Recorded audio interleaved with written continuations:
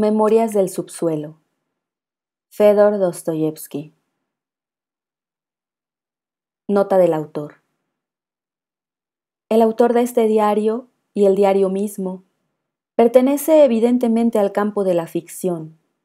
Sin embargo, si consideramos las circunstancias que han determinado la formación de nuestra sociedad, nos parece posible que existan entre nosotros seres semejantes al autor de este diario.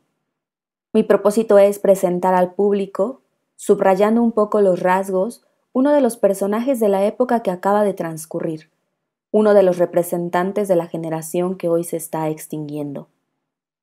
En esta primera parte, titulada Memorias del subsuelo, el personaje se presenta al lector, expone sus ideas y trata de explicar las causas de que haya nacido en nuestra sociedad. En la segunda parte relata ciertos sucesos de su vida. Capítulo primero. Soy un enfermo, soy un malvado, soy un hombre desagradable. Creo que padezco del hígado, pero no sé absolutamente nada de mi enfermedad. Ni siquiera puedo decir con certeza dónde me duele. Ni me cuido ni me he cuidado nunca, pese a la consideración que me inspiran la medicina y los médicos. Además, soy extremadamente supersticioso lo suficiente para sentir respeto por la medicina. Soy un hombre instruido. Podría, pues, no ser supersticioso, pero lo soy.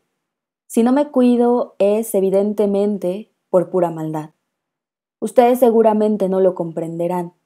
Yo sí que lo comprendo. Claro que no puedo explicarles a quién hago daño al obrar con tanta maldad. Sé muy bien que no se lo hago a los médicos al no permitir que me cuiden. Me perjudico solo a mí mismo. Lo comprendo mejor que nadie. Por eso sé que si no me cuido es por maldad. Estoy enfermo del hígado. Me alegro. Y si me pongo peor, me alegraré más todavía. Hace ya mucho tiempo que vivo así. Veinte años poco más o menos. Ahora tengo cuarenta. He sido funcionario, pero dimití. Fui funcionario odioso, era grosero y me complacía hacerlo. Esta era mi compensación, ya que no tomaba propinas. Esta broma no tiene ninguna gracia, pero no la suprimiré. La he escrito creyendo que resultaría ingeniosa y no la quiero tachar, porque evidencia mi deseo de saherir. Cuando alguien se acercaba a mi mesa en demanda de alguna información, yo rechinaba los dientes y sentía una voluptuosidad indecible si conseguía mortificarlo. Lo lograba casi siempre, eran, por regla general, personas tímidas, timoratas, pedigüeños al fin y al cabo. Pero también había a veces entre ellos hombres presuntuosos, fanfarrones. Yo detestaba especialmente a cierto oficial.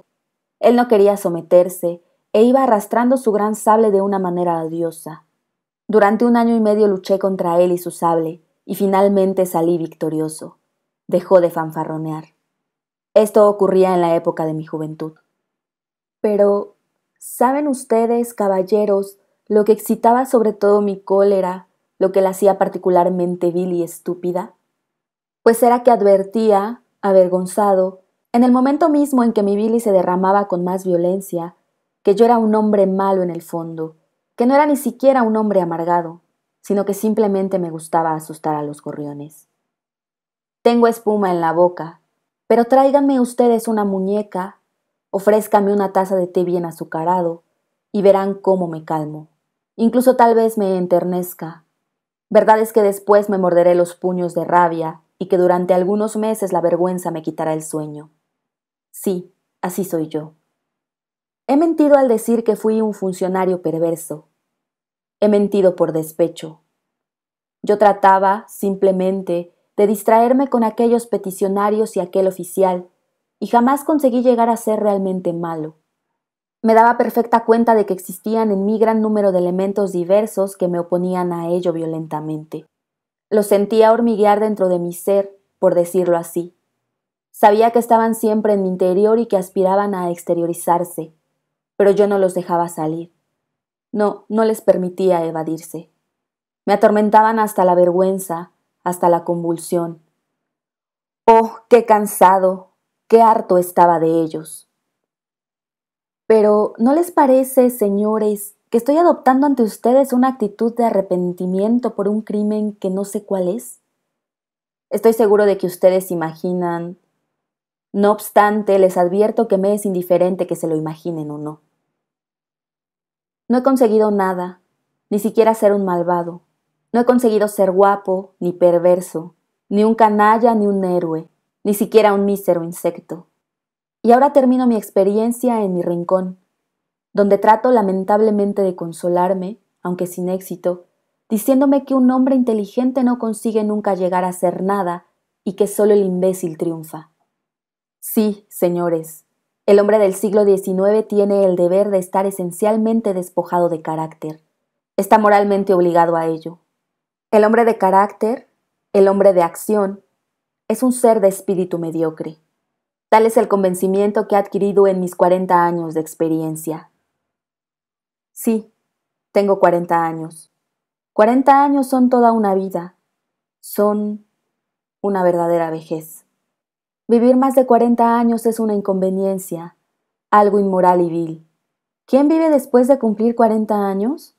Respondan sinceramente, honradamente. Voy a decirlo a ustedes, los imbéciles y los bribones. Sí, esos son los que viven más de cuarenta años. Se lo diré en la cara a todos los viejos, a esos respetables viejos de rizos plateados y perfumados. Lo proclamaré ante el universo entero. Tengo derecho a hablar así porque yo viviré hasta los sesenta, hasta los setenta, hasta los ochenta años. Esperen, déjenme recobrar el aliento. Ustedes se imaginan seguramente que mi propósito es hacerles reír. Pues no, se equivocan en esto como en todo lo demás. No soy en modo alguno tan alegre como sin duda les parezco. Por otra parte, si, irritados por toda esta palabrería, porque ustedes están irritados, lo veo, me pregunta qué soy en fin de cuentas, les responderé, soy un asesor de colegio. Ingresé en la administración para poder comer, únicamente para eso, y el año pasado, cuando un pariente lejano me legó seis mil rublos, Dimití al punto y me enterré en mi rincón. Hacía ya mucho tiempo que estaba aquí, pero ahora me he instalado definitivamente. La habitación que ocupo está en los confines de la ciudad y es fea, destartalada. Mi criada es una vieja campesina, malvada por falta de inteligencia. Además, huele mal.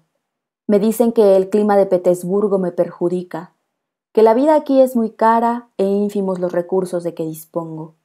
Lo sé, lo sé mucho mejor que todos esos sabios donadores de consejos. Pero me quedo en Petersburgo.